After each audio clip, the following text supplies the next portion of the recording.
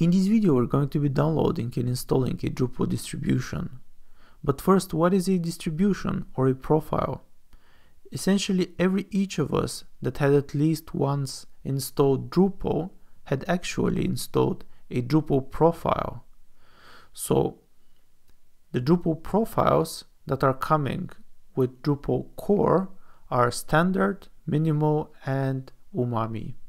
So if you tried one of those or you had tried one of those for sure, but if you know the difference between those profiles, it's essentially the configuration that is there, the modules that are enabled and their configuration between modules or of specific modules so that you have to do less work afterwards for a specific purpose. So we're going to find where we could search for Drupal distributions or profiles and from where we could download them and how to install them. So on Drupal.org, if we simply hover on build and if we go to distributions, we see the current list of distributions on Drupal.org and they are listed by the most installed. So for example, Commerce Kickstart is a distribution that directly installs modules and configures everything so that when your Drupal installation is finished, you actually have a working commerce website. Something similar is here this distribution that is making your Drupal instance into a learning management system. Lightning is enabling and configuring plenty of modules and is claiming to make your Drupal fast. And something that caught my eye is basically Varbase, a distribution that claims that as you install it, you are out of the box saving over 200 hours of configuration and development. So we're definitely gonna test that. And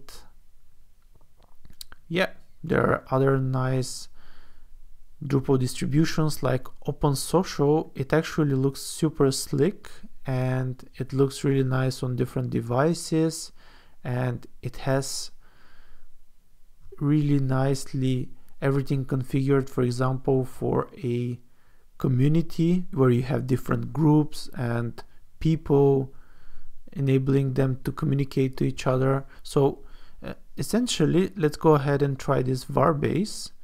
And the standard way of downloading a distribution is with composer and it's with composer create project. So here is an example. So we're going to just copy this body here and we're going to open our terminal and simply jump to a folder where we want to download it. And we're going to simply paste this and change the name of the project so Varbase let's call it x Varbase because we're experimenting with varbase uh, and hit enter. So it would essentially download a code base which would be with a composer json file and it would run composer install in it that's the standard way the composer create project works everything looks nice and after we have it finished we are going to open the dev desktop and we're going to start installing Drupal.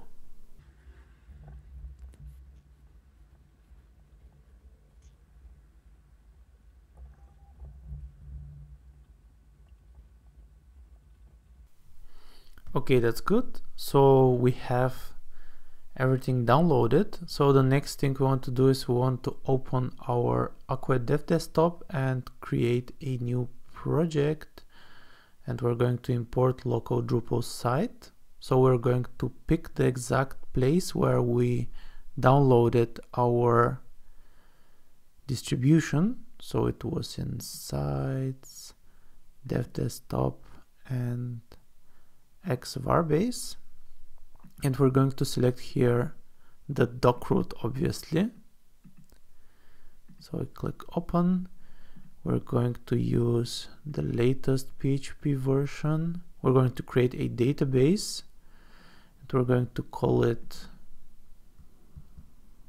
xvarbase new database that's perfect. So we hit ok and we're going to open xvarbase in our browser and as we see it already looks fancy so we choose the language save and continue we already see that it's not the standard Drupal installation so we're installing here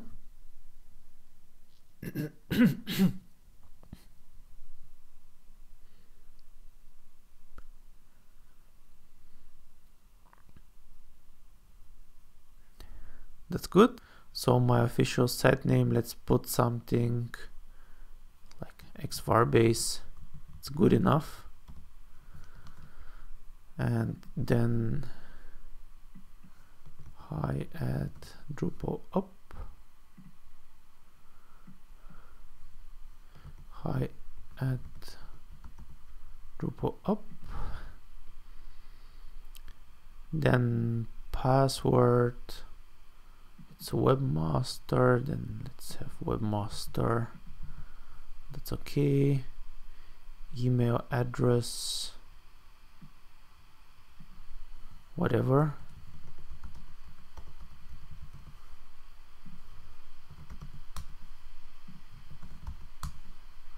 And check for updates. I usually disable that and we save and continue.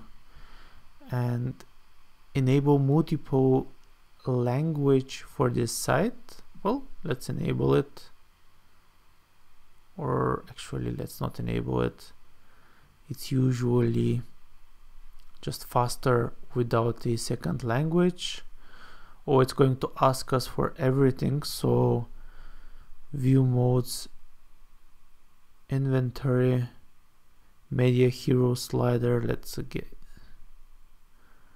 Varbase carousels let's Varbase search Varbase blog Varbase social single sign-in Varbase API now social single sign-in we have to configure Google Analytics Google Tag Manager assemble and install. I assume that's going to take a while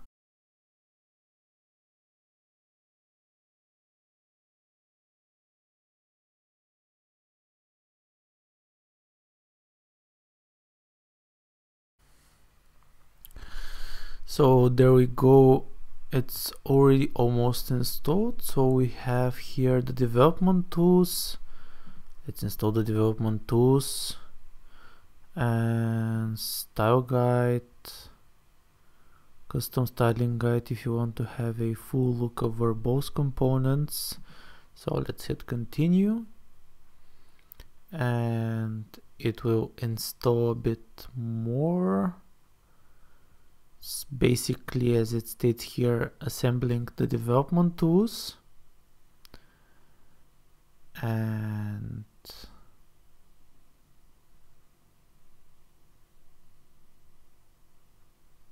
after that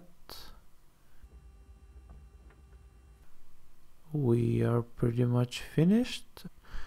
We have congratulations and we have a welcome to Varbase. Okay.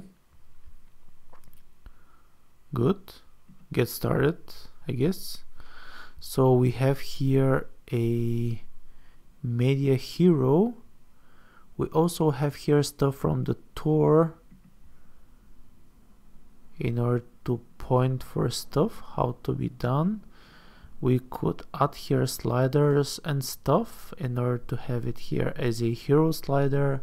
We obviously have pre-configured already like if we go to the structure we're going to see that we have already surely some content types like blog post hero slider landing page. We have I see here a so the content it should be fairly standard. It is standard. We have the media which is good directly configured. We have here something like a dashboard that looks interesting. So we could add accounts here hero slider blog post. This is these are the content types. We could have google analytics here I guess it also shows I guess it also shows some kind of a diagram as we see here in one screenshot there was something.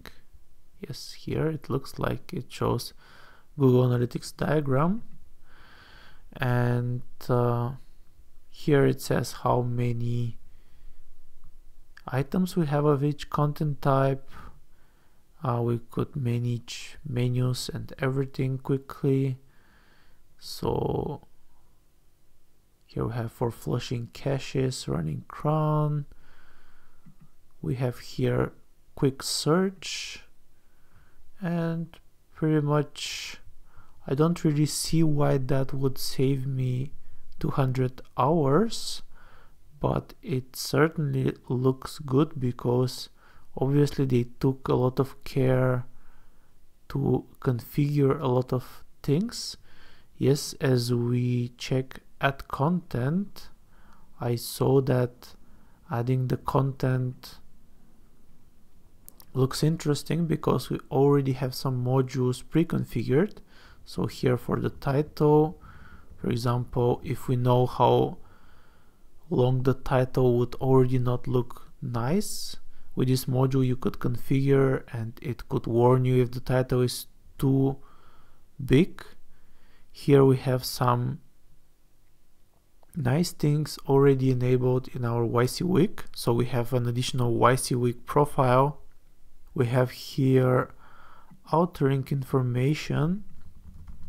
So if we save we see here we have the module that is essentially evaluating our keywords.